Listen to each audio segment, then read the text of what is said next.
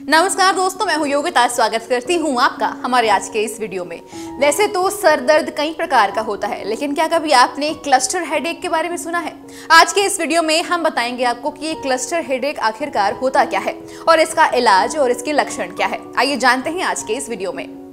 मौसम के बदलने पर कई लोगों को सिर दर्द की शिकायत होने लगती है। जैसे ठंड से गर्मी आने पर गर्मी से बारिश या फिर ऐसे ही एक दूसरे मौसम का बदलना सिर दर्द का कारण बनता है।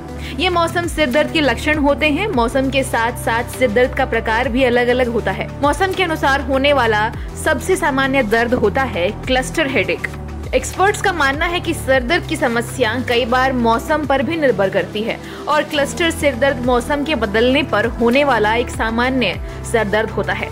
तो चलिए बात करते हैं, क्या वजह है मौसमी सरदर्द? एक्सपर्ट्स का मानना है कि मस्तिष्क में स्थित इंटरनल क्लॉक स्कॉर्डियन रिदम को नियंत्रित करता है। हमारे इंटरनल क्लॉक दिन में होने वाली रोशनी के प्रति संवेदनशील होता है और यह हमारी नींद के साइकिल को नियंत्रित करने में मदद करता है। नींद के इस साइकिल के बिगड़ने या बदलने से मौसमी सिरदर्द होने की आशंका बढ़ जाती है। क्लस्टर हेडेक सिरदर्द की काफ़ी गंभीर समस्या होती है, जो कि इंटरनल क्लॉक के बदलने पर ट्रिगर होती है। कई लोग दिन की इस रोशनी के प्रति काफ़ी संवेदनशील होते हैं, जो कि किसी रोगी को इस तरह से प्रभावित करते हैं कि उनके सिर दर्द का दिन भी समान होने लगता है। गर्मी के मौसम में सिर दर्द की शिकायत माइग्रेन के रूप में बढ़ जाती है, क्योंकि माइग्रेन के मरीज़ गर्मी के प्रति संवेदनशील होते हैं।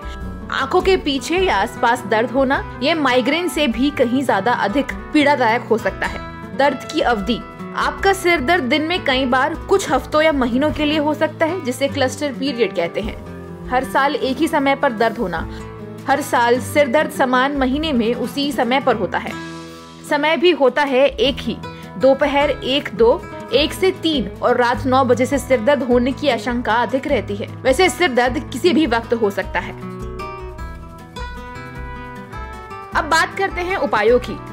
अपने सिर दर्द को एक डायरी में नोट करते जाएँ। इससे आपको इस बात का पता चल जाएगा कि आपका सिर दर्द मौसमी है या नहीं, और इससे बचने में आपको मदद मिलेगी। अपने सर दर्द का जो भी मौसम है, उस दौरान इसके ट्रिगर से बचने की कोशिश करें। इसमें भोजन, तनाव, धूम्रपान, शराब, नींद पूरी न होने जैसे ट्रिगर शामिल हैं। एलर्जी के प्रकार के अनुसार घर के बाहर की गतिविधियों पर रोक लगा लें। धूल और फफूंद आदि के संपर्क में जाने से बचने की कोशिश करें।